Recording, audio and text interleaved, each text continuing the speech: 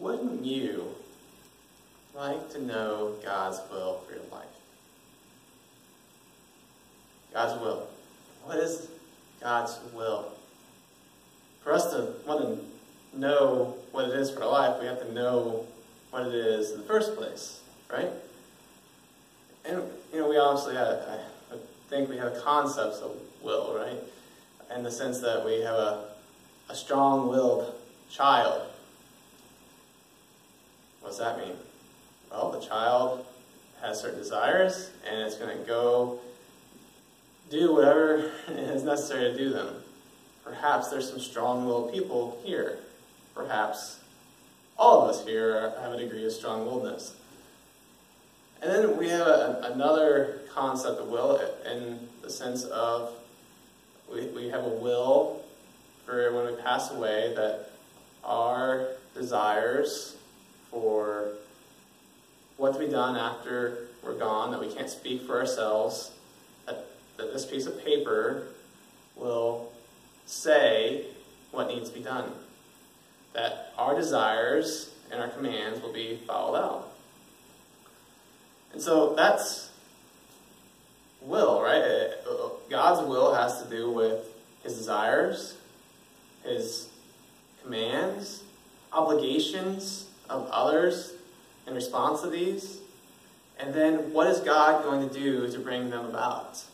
Those are all concepts that are, are tied up into the statement that we can sometimes throw around, you know, God's will.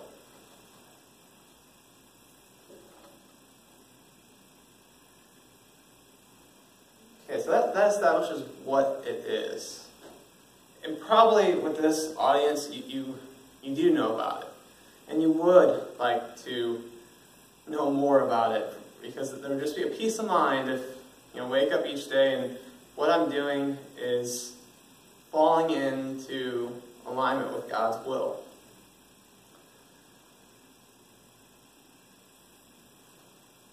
And that's a, it's an interesting concept to, to try to, to align all that we do. Why is that there? Why, why do we have that innate desire? Even maybe people who do not believe in God may have a, a, a similar desire that they hope to wake up and whatever they're doing is falling in alignment with what the, the cosmos is doing. So, we had to go back to in the beginning. In the beginning, God created man and his man in his image. Male and female, he created them. Both genders were made to almost as mirrors. I can use that illustration. As mirrors. As God, who he is, beams down and it uh, shines off these mirrors, male and female, that he's created, he's formed with his hands and breathes the breath into. They then reflect out onto creation and to the animals you know, and, and plants, everything that, that God is good and these are his ways. Like man was designed to fall in line with God's will. To make it known, to make known how good and glorious God is. That's what it means to be made for all mankind, to be made in God's image. And this is, and again, I alluded to, unbelievers, people who do not believe in God, have a desire. And it's because this image of God isn't completely erased away by the fall of man.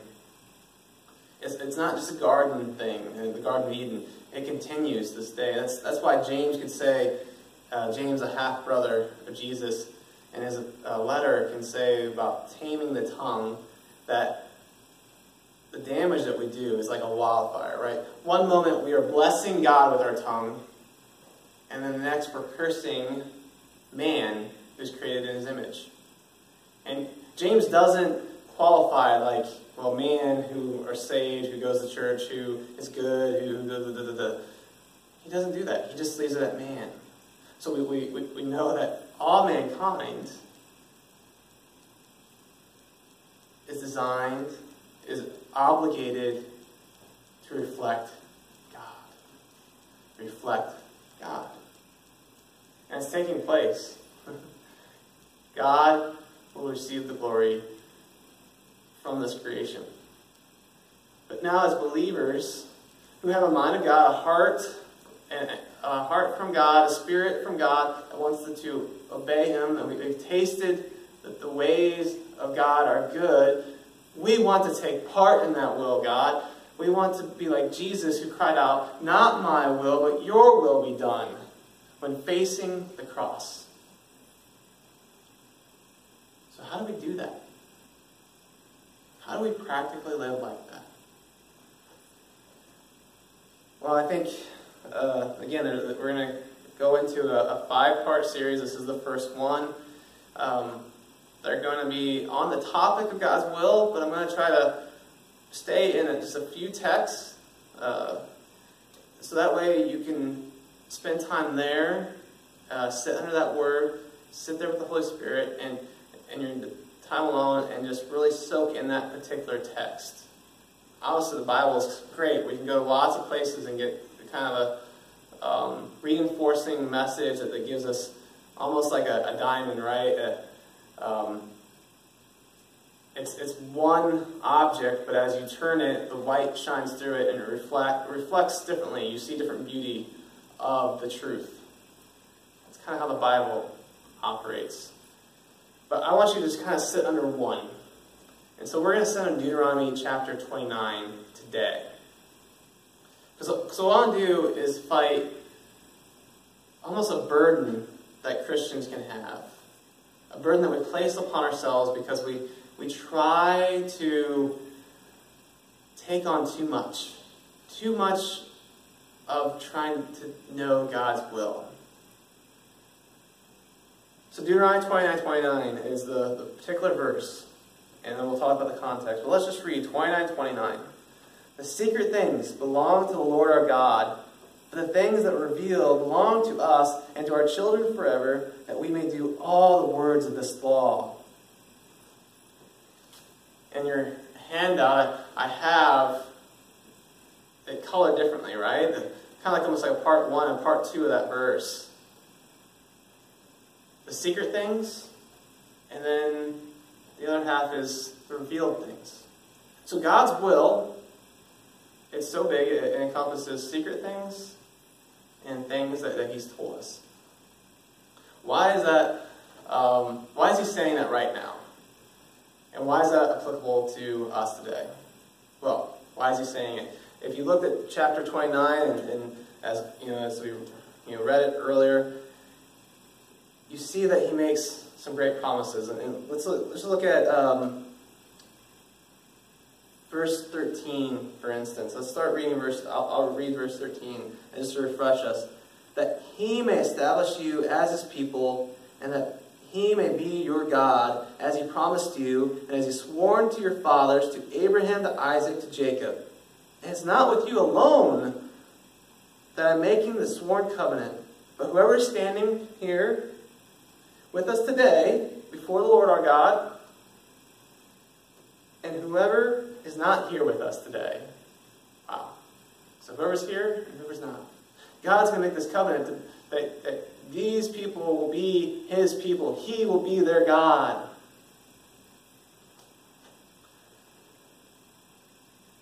That sounds great. But there's the thing God continues and, and he impacts how these people that are standing here today, their generations, are going to turn away from God again and, or actually turn away, we're in Deuteronomy. They're going to turn away from God. They're going to follow after the, the idols, the false gods of, of other nations, ones made of gold. And, you know, God is a, a God of justice. Yes, He's a God of mercy, but He to be a just job, just God, He can't let the murderer go unpunished. He can't say, here's a $45 fine, pay the bailiff as you go, we'll just cover up this murder you did. And so, Israel, when you entered this covenant with me, I gave you the, the stipulations of what will happen. And so, in the other bulk part of chapter 29, he goes and tells them that there will be a day that you will turn away. And I'm going to have to do this. Reading in, uh, in verse 27. Therefore, the anger of the Lord was kindled against this land, bringing upon it all the curses written in this book. And the Lord uprooted them from their land in anger and fury and great wrath, and cast them into another land as they are to this day. Meaning, you're going to continue to disobey me.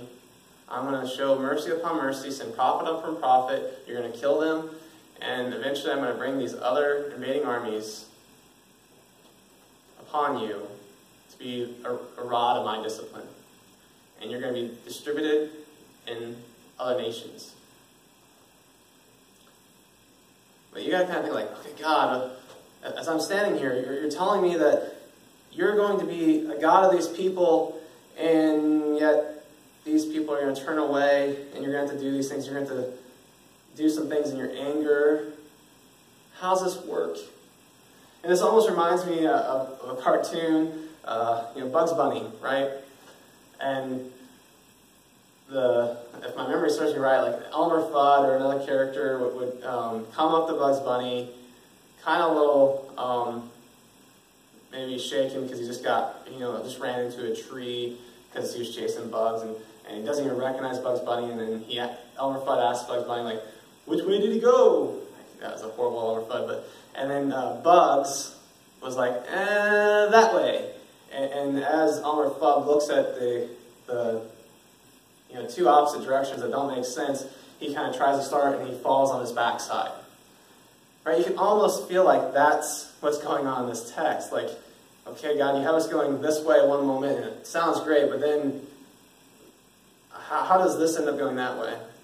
And then so he ends this dialogue, uh, at least this section, with verse 29 that, that we're studying today. That the secret things belong to the Lord. It, it's almost like with the, the prophet Habakkuk the prophet Habakkuk asked God a question like, How can you use this evil army to discipline us? How can you use someone unrighteous against us? And God says, Even if I told you what was going to take place, you wouldn't believe it. So there, there are these things that are that God will bring about, and He will still maintain the cause of the good and, and keep His good plan. But some things need to take place that aren't gonna aren't gonna look like they're they're heading in this direction. But yet he'll take care of it. We need to trust him. We need to have faith in him that, that even as circumstances seem dark and gloomy and just bad, God is in control. See, it's like this as we as we read the Bible, right? We have a statement in the beginning is God, and he created the heavens and the earth. And at the end of the Bible, we, we have the statement that you know, this, we won't need a sun, the physical sun. We won't need because we will see God and Jesus face to face, and they will be your light. Okay. But God, there's a bunch of question marks on, on in, in this arc, and I'm not seeing how this lines up. Can you imagine some of the, the people before Jesus? God, how's this happening? But that, that's the thing, right? Even as things went kind of, kind of, hope is lost. There's no descendant of, you know, who can possibly be a descendant from Abraham, David, Judah, David?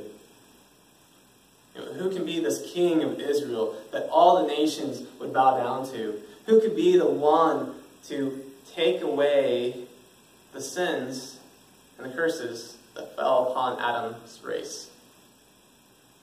Who? No one was expecting this baby born in a, in a, um, basically nowhere. He wasn't given a, a, a you know, a, a grand entry. It was a small entry. The angels celebrated. A few shepherds, a low of the society. But who would have thought? that all history would accumulate, accumulate in this one person who would then live a perfect life, die a perfect death, one that drinks up all the sin of Adam's race, and conquers death and sin, resurrects from the, from the grave, so we have an empty tomb, and then is seated, resurrected as Savior and Lord in heaven. Jesus. So our end is guaranteed by what Jesus has done. And we live in a time where things are a little confusing, a little difficult. More than a little, right? We hear about new explosions. We hear about what um, the latest thing ISIS is doing. We hear about different other countries' leaders like North Korea and Russia. It just seems like things don't change, do they? Maybe not on that scale. In some ways, you know, there, there, things aren't new under the sun, right? That there is this continuum of how man responds to circumstances and where it goes. But this is what we get back to a, believer's opportunity. Right? We may struggle with all the unknowns. We may struggle with the unknown of what the next president of the United States is going to do. We may struggle with what we're going to do in our workplace as people are being laid off. Or even what job field should I, should I go into if I'm uh, younger in life or second uh, career path or um, what college, you know, who should be my spouse, should I have a spouse, what about children, how do children factor in in these, this, this age, how do we go about all this stuff, God? Because I want your will, but a lot of these things are, are I, I wish there was a verse that would just make it very clear on who should be my spouse, God. God, couldn't you give me a verse to say this is what I should do with my life?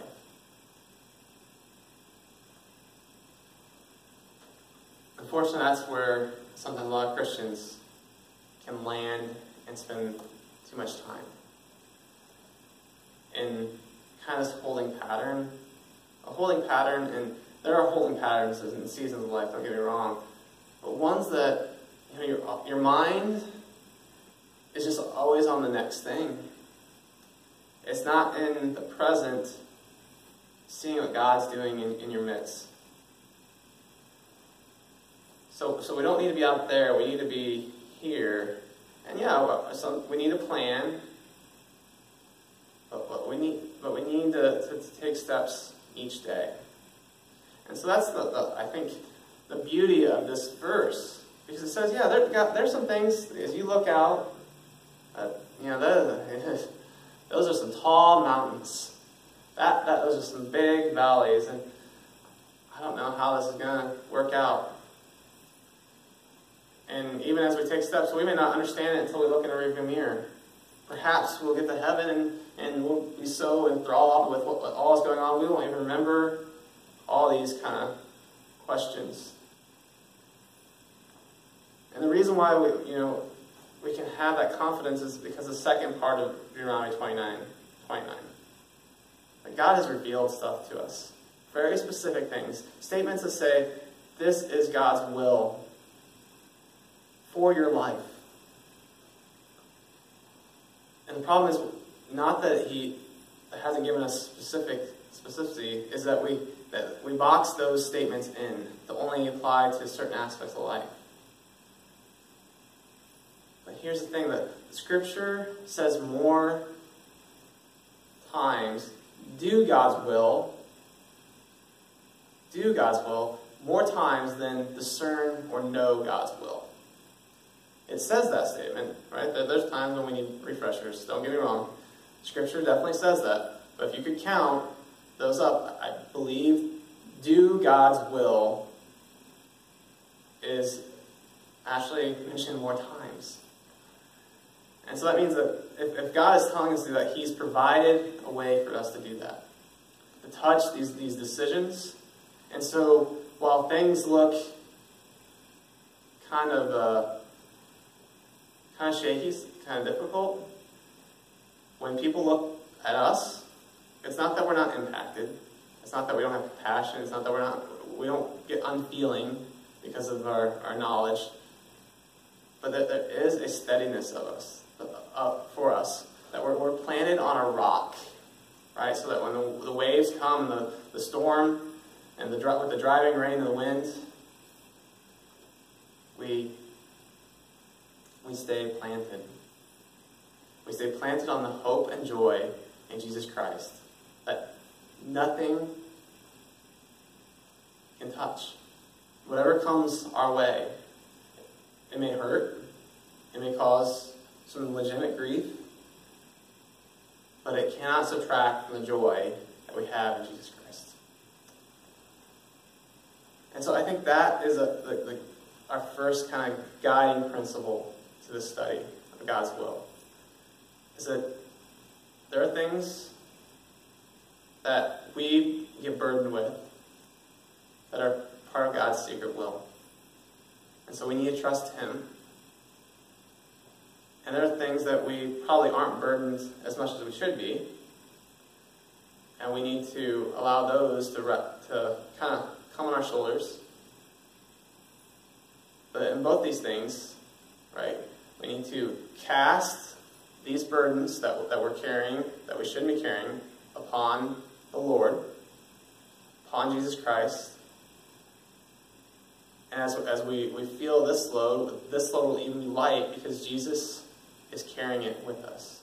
Right? For his yoke is easy and his burden is light because he is the one that's uh, carrying us.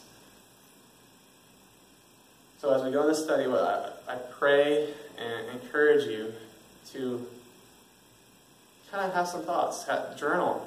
What, what am I carrying that I shouldn't be? how much is this election bothering me? You know, the November, November election, it's, uh, it's not pretty. But the thing is, none of us know the future. We don't know what God could do with either character because he's used wicked people before, like a Nebuchadnezzar. So, both are equally valid we're offended by some of the policies, maybe, by a certain candidate. But we ultimately don't know, even if, let's say, we don't get a person with good policies, that, you know, how God will work through that. Because America is not in Scripture. It is a nation, like many others, that God is God of. He's a God of many nations, many tribes, many languages.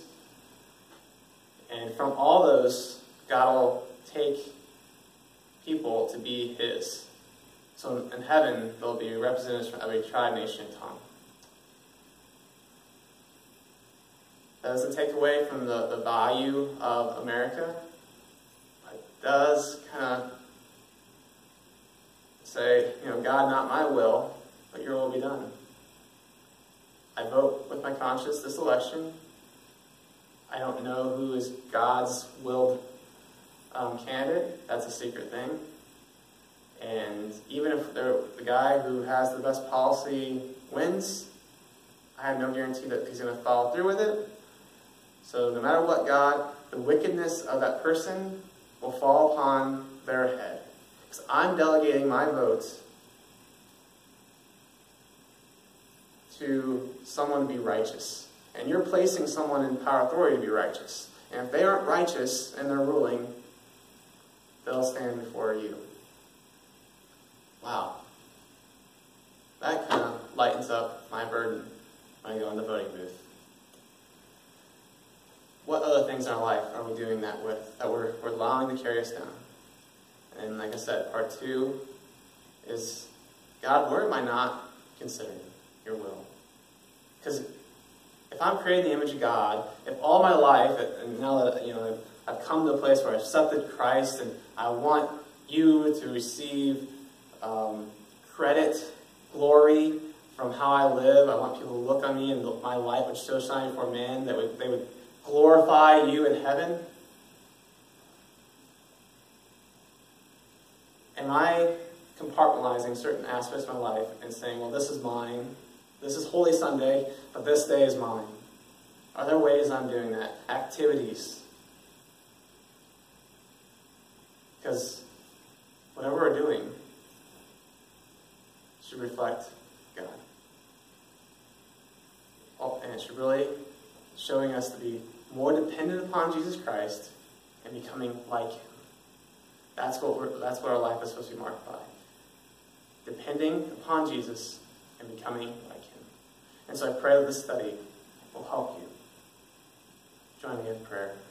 Blessed Father, we are so thankful for your word. We're so thankful that you do speak and, and you, you've spoken, and that, that as you have spoken, it's like a rock hitting the water and the ripples go out.